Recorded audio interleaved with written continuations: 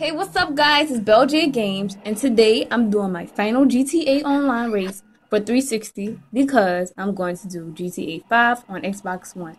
So if you guys have the one and want to race with me, be sure to drop your gamer tag in the comments and as always, I hope you guys enjoy.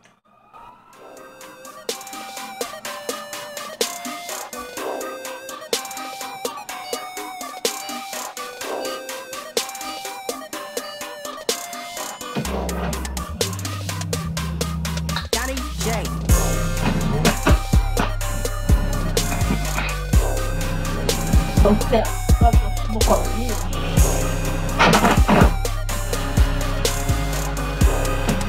love, please though.